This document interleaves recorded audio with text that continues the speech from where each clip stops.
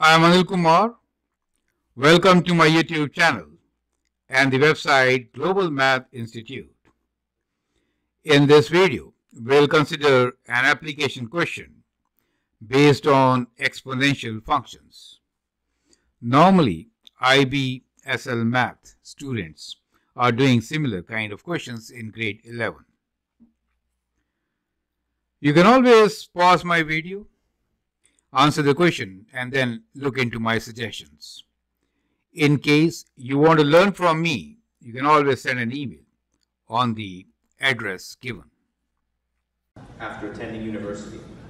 The winner of this year's Certificate of Achievement Schulich Leader Award is Akshi Kandivani.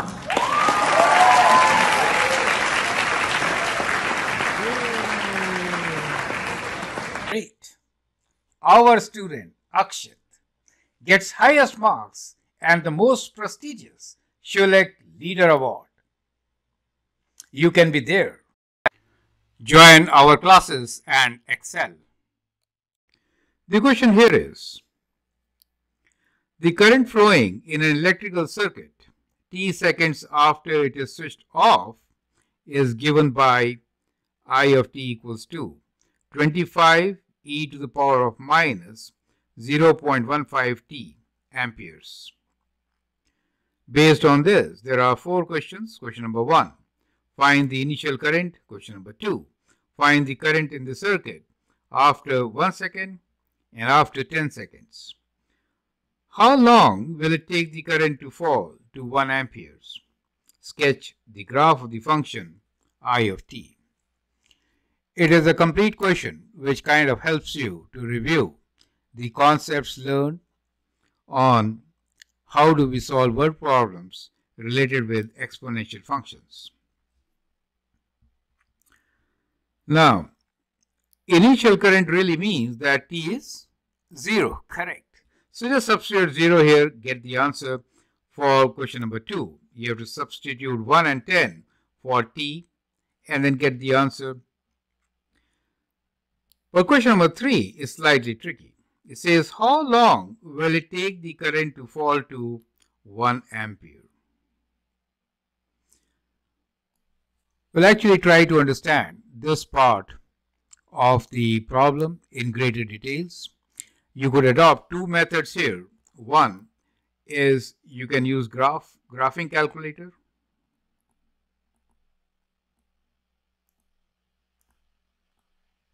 Or you can use the logarithmic function ln.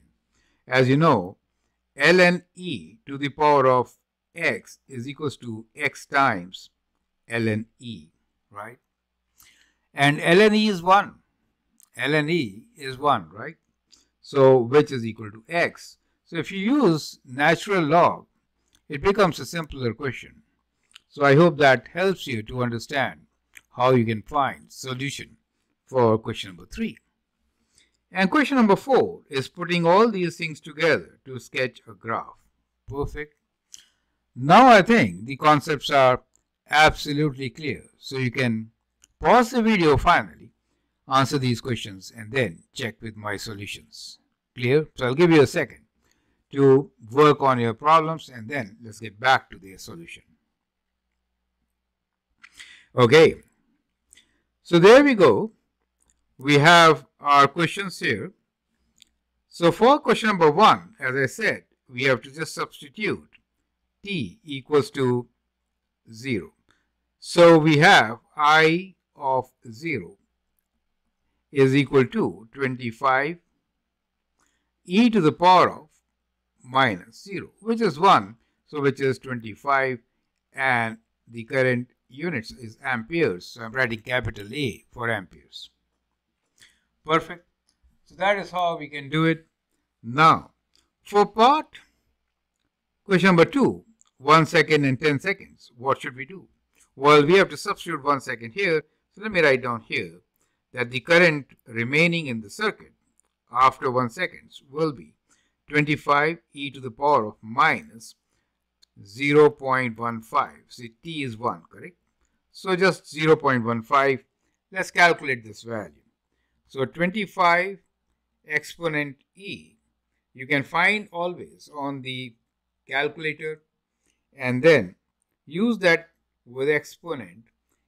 Within brackets, you should write minus 0.15 and there you go is equals to 21.51. So I get 21.51. I'm writing, rounding it to 21.5 amperes, right?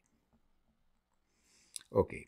Now the current after 10 seconds remaining in the circuit will be even lesser. So let's calculate this e to the power minus 0.15 times 10 which of course is 25 times e to the power of minus. Uh, 10 times this will be 1.5, correct? So we'll change the exponent part from minus, uh, 0.25 to 1.5.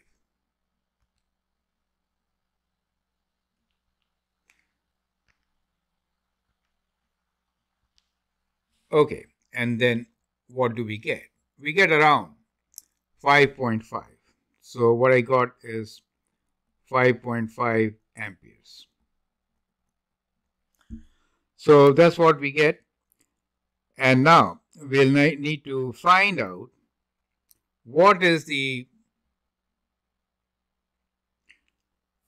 now we'll try to answer question number three. So how long will it take for current to fall to 1 amperes, right? So this is still 5 amperes?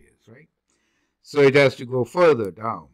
Okay, so it has to be more than 10 seconds. Let's try to answer this question. So, so now we are saying we want the final to be 1 ampere and figure out the time. So we can rewrite this equation, which is I of t equals to 25 e to the power of minus 0.15 t. So we want the current to be 1 ampere. So 1 into 25 e to the power of minus 0.15 t. Dividing by 25, we get e to the power of minus 0.15 t. And now we can take natural log both sides. So ln 1 over 25 is equal to minus 0.15 t times ln e which is 1 right so let me write ln e and then i'm going to reorganize this so we get ln 1 over 25 equals to minus 0.15 t right so from here we can find the time t equals to minus ln 1 over 25 divided by 0.15. Perfect. So let's use the calculator. So we have natural log uh, within brackets. I'm writing 1 divided by 25. I say equals 2. And then I divide by 0.15, right? And multiply this by a negative sign. So it gives me 21.459. Correct? So we can say approximately equal to 21.5 seconds. Perfect.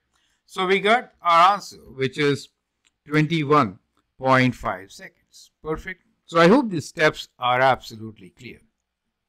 So the strategy here is to take logs both sides, right?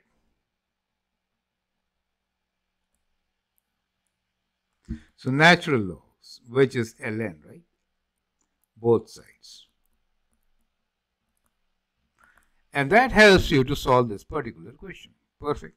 Now, some of you can also use the graphing calculator, check their answer. So we get 21.5 seconds for 1 ampere. Okay. Finally, the last question here is to sketch the graph of the function. We already have some values, right? So I0 to begin with is 25. We calculated the value after 1 second. We calculated the value after 10 seconds and we also found that uh, the value after, uh, let me just check, uh, 21.5 was 1 ampere, correct? So let's check the other values which we calculated. Uh, we had 5.5 amperes at 10.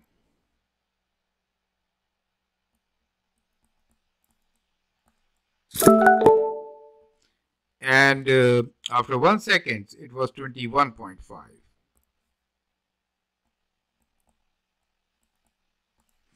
Correct. So here we have a graph. Uh, we have to write the time t in seconds on the scale and amperes the current I in amperes along the y-axis. So let's plot these points which are known to us. We know it's an exponential decay function, right? So the nature of the graph is going to be like this, correct? Now, to begin with, initially it is 25. I've chosen the scale, so so 2.5, 2.5, 25 will be here, okay, right on the top. And after 1, it is uh, 21.5, so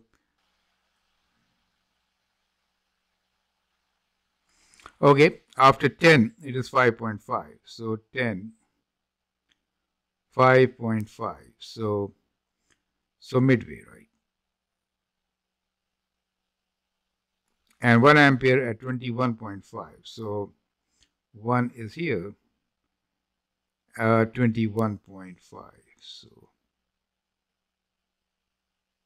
kind of. Do you see that? So we get these points and clearly they indicate exponential decay of current. Starting with 25 we can connect these points right? So that is how you can connect these points to the smooth curve, which looks something like this, right? So that is your graph. You can see I'm just drawing with uh, okay, so bottom line. So that is how it is going to be. I hope it makes sense. So you could actually check your graph with the graphing calculator. It's kind of important to mark the points which we have calculated and that should help you to really uh, get the perfect solution, right? So once again, there you go.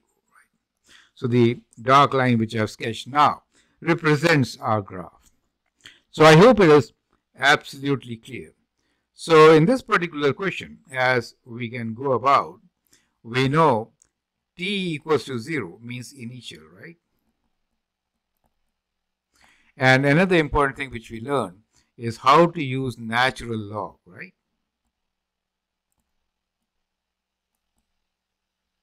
Which basically is log to the base e, right, of x ln to calculate the value for time when the amperes flowing in the circuit was 1 ampere. So, and then finally, we got a graph which looked like kind of like this. Makes sense, right? So, so that is how we actually summarize this particular problem. Well, I hope you understand all these concepts. Feel free to write your comments, share your views.